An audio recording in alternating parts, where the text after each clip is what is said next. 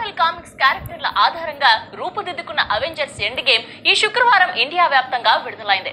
Iron Man Captain America Hulk Thor Black Widow War Machine Captain Marvel తదితరులు థానోస్ను ఎలా ఎదుర్కొంటారో చూసేందుకు చిన్నారులతో పాటు పెద్దలు సైతం ఆసక్తిని చూపుతుండటంతో ఈ సినిమాపై భారీ అంచనాలు నెలకొని ఉన్నాయి. ఇప్పటికే ప్రపంచవ్యాప్తంగా విడుదలై పాజిటివ్ టాక్తో దూసుకుపోతున్న ఈ చిత్రం భారతీయ సినీ ప్రేక్షకులను ఏ మేరకు ఆకట్టుకుంది? ట్రైలర్తో పెంచిన అంచనాలను అందుకుందా లేదా? అవెంజర్ సిరీస్కి ఎలాంటి ముగింపు ఇచ్చారో తెలుసుకోవాలంటే రివ్యూలోకి వెళ్ళాల్సిందే. కథా కథనం విశ్లేషణ. ముందుగా కథలోకి వెళ్ళినట్లయితే ఇన్ఫినిటీ స్టోన్స్ను సొంతం చేసుకుని విశ్వాన్ని తన ఆధీనంలో ఉంచుకోవాలని థానోస్ చేసే ప్రయత్నాలను ప్రపంచ సూపర్ హీరోస్ చివరి పోరులో ఎలా ఎదుర్కొన్నారనేదే ఇందులో ప్రధాన కథ.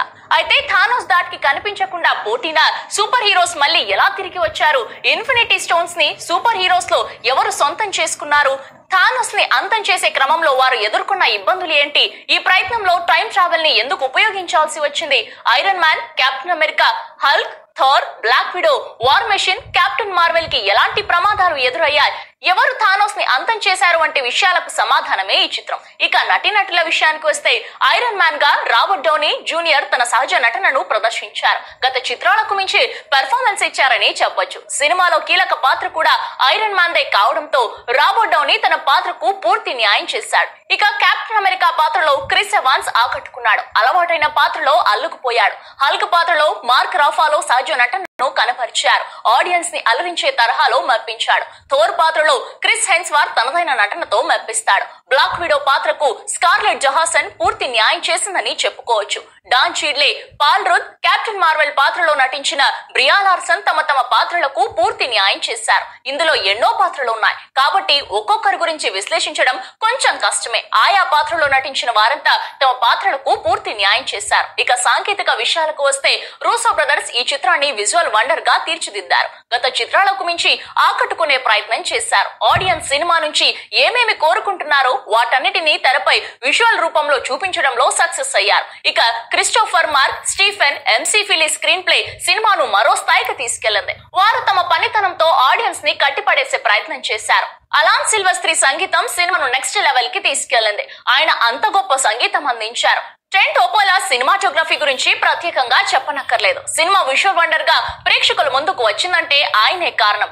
జెఫ్రీ ఫోర్డ్ మాథ్యూ ఎడిటింగ్ కూడా చక్కగా కుదిరింది. ఇక నిర్మాణ విలువల గురించి ఎంత చెప్పుకున్నా తక్కువే. ఇక సినిమాను ఒకసారి విశ్లేషించుకున్నట్లయితే విశ్వం అంతటిలో సగం మందిని చంపడానికి థానోస్ ఇన్ఫినిటీ స్టోన్స్ ఉపయోగించిన తర్వాత ఏం జరిగింది అనే దాని దగ్గర కథ మొదలవుతుంది.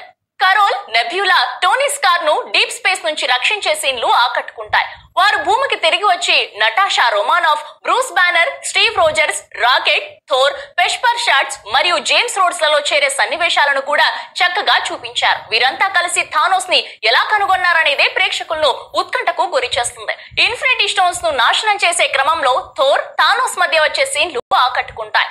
క్వాంటం రాజ్యంలో కాలంతో చేసే ప్రయాణాన్ని ఊహించని రీతిలో చూపించారు. బ్యానర్ రోజర్స్ లాంగ్ మరియు స్టార్ టైమ్ న్యూయార్క్ నగరానికి ప్రయాణించే క్రమంలో ఎదురైన ఇబ్బందులు ఆసక్తిని కలిగిస్తాయి. రోజర్స్ మైండ్ స్టోన్స్ తిరిగి పొందడానికి చేసే ప్రయత్నాలు బాగా చూపించారు. అన్ని ఇన్ఫినిటీ స్టోన్స్ సేకరించిన తర్వాత ఐరన్ మ్యాన్ థానోస్ని అంతమొందించడంతో చిత్రం ముగుస్తుంది. ఈ క్రమంలో వచ్చే సీన్స్ వావ్ అనేలా ఉన్నాయని చెప్పుకోవచ్చు. ఇక థానోస్ని అంతమొందించడంతో సినిమా ముగుస్తుంది. మొత్తం మీద ప్రేక్షకులు పెట్టుకున్న భారీ అంచనాలను మేకర్స్ అందుకున్నారని చెప్పవచ్చు. సినిమాలో చెప్పుకోదగ్గ మైనస్ ఏదీ కనబడదు. గత చిత్రాలతో భారీ అంచనాలు పెట్టుకుని థియేటర్కి వచ్చిన ప్రేక్షకుడు సంతృప్తితో బయటకు వస్తాడని మాత్రం చెప్పవచ్చు. చూసారు కదండి?